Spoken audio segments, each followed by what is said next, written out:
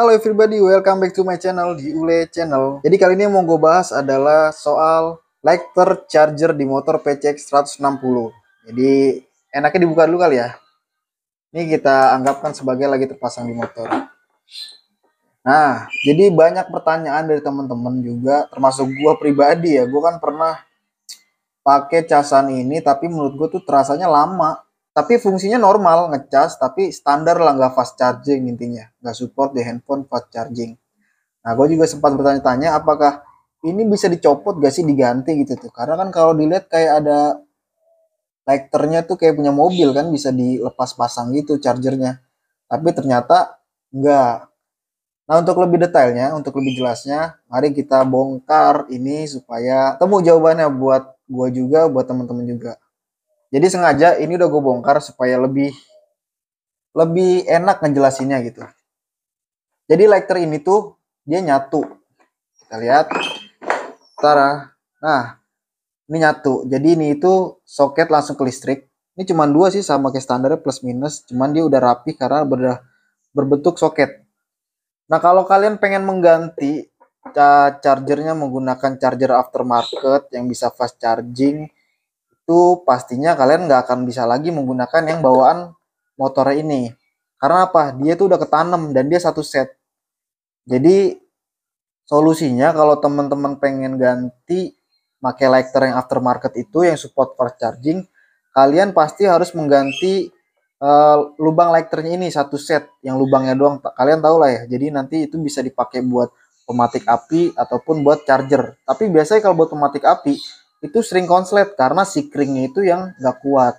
Jadi bisa kalian pakai buat pematik api buat bakar rokok, tapi si kringnya diganti ampere yang gede. Tapi kalau kalian lebih pede lagi, jumper langsung aja tuh listrik yang gak usah pakai si kring. Tapi itu lebih bahaya kalau ada konslet. Jadi langsung ke kelistrikan nyamber semua.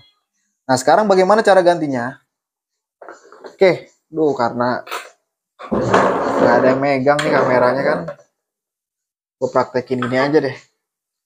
Nah jadi ini tuh ada kenoknya ada penguncinya. Ini ditekan aja pakai obeng. Kelihatan ya? Nih. Ini tuh ditekan aja pakai obeng. Ini tekan dorong sedikit. Terus lakukan yang selanjutnya. Pokoknya yang dia pengunci-penguncinya ini tekan-tekenin aja. Tekan-tekan sambil didorong sama satu lagi oh ada di sini bagiannya. Gitu. Waduh, kencengan dorongnya kan. Oke, kurang lebih seperti deh. Nah, ini udah copot. Ini taruh aja. Nah, jadi kalau bawaan Honda PCX itu dia menyatu jadi satu seperti ini nih. Jadi kalau kalian pengen pakai charger yang aftermarket yang support fast charging, kalian bisa beli lagi tuh di toko online atau di toko aksesoris motor ataupun mobil lighter yang cuma lubang doang. Yang dia tuh bahannya besi. Jadi nanti bisa kalian masukin dengan charger yang kalian inginkan yang pastinya fast charging ya.